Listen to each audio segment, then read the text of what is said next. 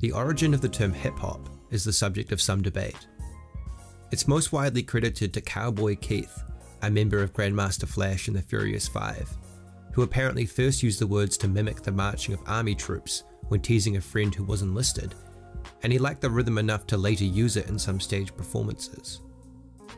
There are plenty of other theories though, like that hop has its roots in the Lindy Hop dance of the 1920s, or that hip might have come from the West African word to see or to be enlightened.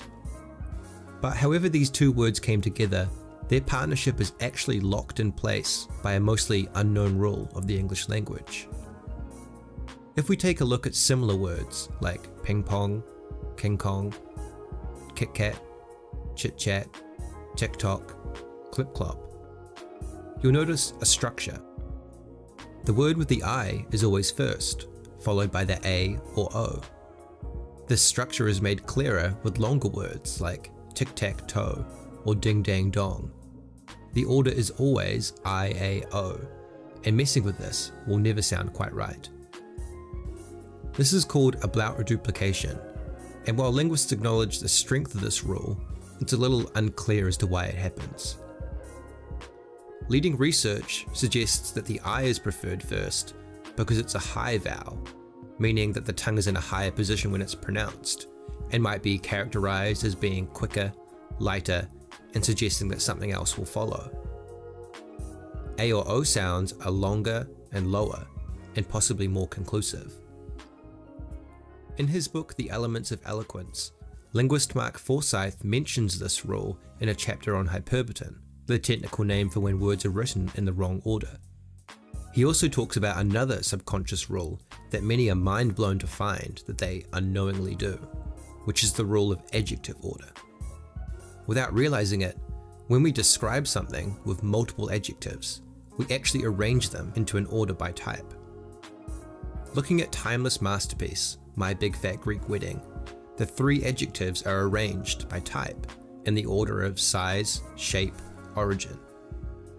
This isn't random and perfectly fits within the established order of adjectives, the full order being opinion, size, age, shape, colour, origin, material, purpose, and then noun. Following this, we can have an interesting little old curved silver Japanese steel fighting sword.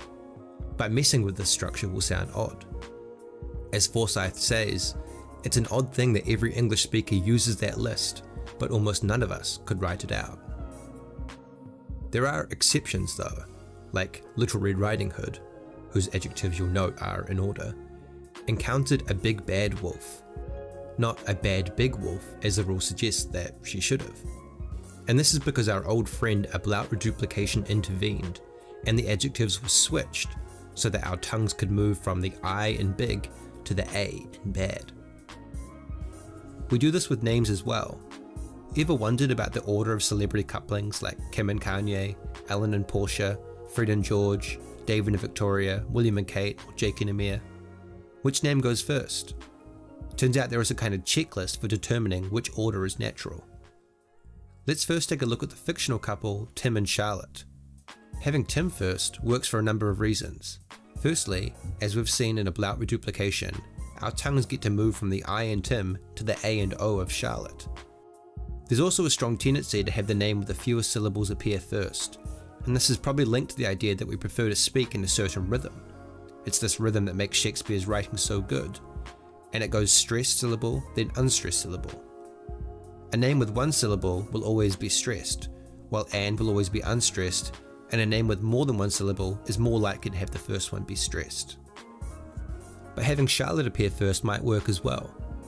Linguists argue that names that are more difficult to say will often go first, and Charlotte boasts a few consonant pairs, as well as the hard T at the end. We're also more likely to put Charlotte first if we know her better, or she is more famous or notable. We see this with royal family members William and Kate. By all means, Kate should go first. She has fewer syllables, the syllable rhythm feels more right, and the hard T means her name is harder for our mouths to say. But of course, William has been in the spotlight his entire life, and it wouldn't feel right to have him second, at least in this case. This is in line with other research that suggests we have a strong tendency to put male names first. This is said to be down to male names generally being shorter and having more obstructive consonants like T's, K's, and J's, but also because we're more familiar with them. The name James was listed as the eighth most popular male name in the 1990s, and in fact, it had made the top 10 list for the previous 12 decades, stretching back to 1880. Actually, if you picked out any top 10 popular name in this time span, its top 10 popularity lasted for an average of 4.25 decades. If we compare this to the list of popular female names, Mary makes it 10 out of 12 times, but the average popular female name is only popular for an average of 2.22 decades. Linguists argue that because popularity in female names changes more often, this causes an instability where we generally feel less familiar with female names, and are therefore more likely to put them after male names. This is being challenged by the rise of names that are original, from other languages, or are gender neutral or non-binary.